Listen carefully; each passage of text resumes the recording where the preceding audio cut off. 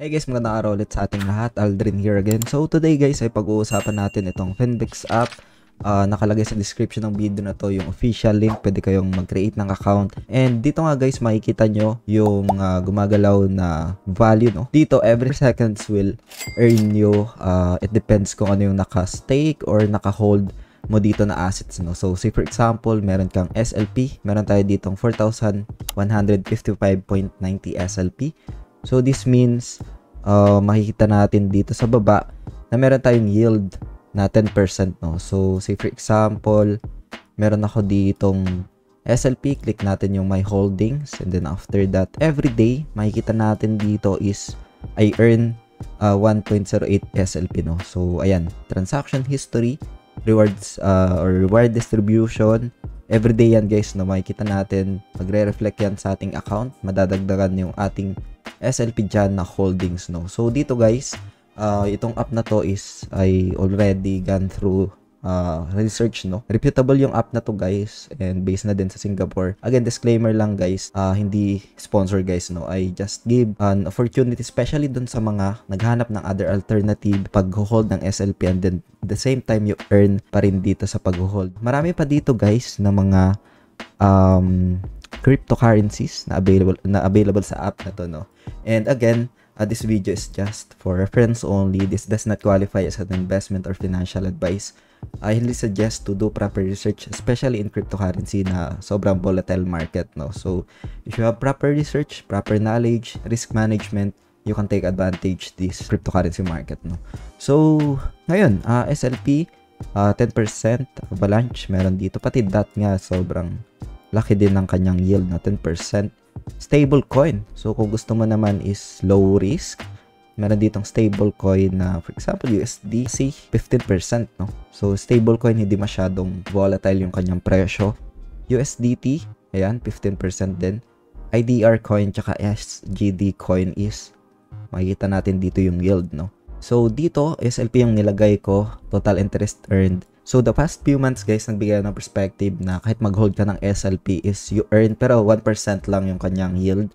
So itong app na to guys is uh, 10% no. So you can take advantage itong yield na 10% dito while holding SLP. And um, dito guys holdings or my holdings, it depends guys no kasi uh, sa transaction history ko 1.08 SLP sa balance ko is ito yung naka-hold na SLP 4155 kung malaki yung naka-hold mo dyan, malaki din yung na-earn mo daily, no? So, it depends on your uh, size ng holdings mo, no? Sa, sa balance mo.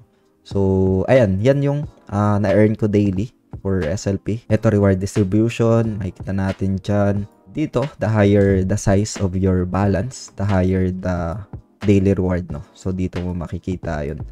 And, uh, ito.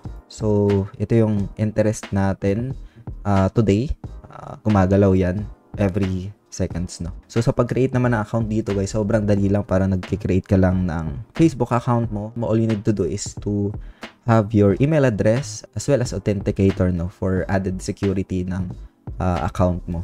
And if ever, guys, na malaki yung size ng holdings mo dyan, punta muna tayo sa settings, tsaka identity verification, ay you need to do the verification, no? Ito. So, para tumaas yung withdrawal limit, kailangan magpa-verify and take a selfie, no? Para tumaas yung daily withdrawal limit mo dito and for regulation naman, no? And kung sakto lang naman yung pinaka-size ng holdings mo dyan, for basic, default verification level lang, no? So, withdrawal limit mo lang dyan is 1,000 USDT. So, naka-basic ako dito, pero I can uh, do verification dito, guys. If ever man na lumaki yung ating holdings dyan, no, yung size ng holdings natin. No. So, dito guys, so muna tayo. Wala ka masyadong gagawin dito guys. Si for example, meron ka ditong holdings ng USDC, ay you will earn ano, by just holding lang. No. So, hold mo lang sa wallet na to or sa app na to, ay you will earn 15% yield. No.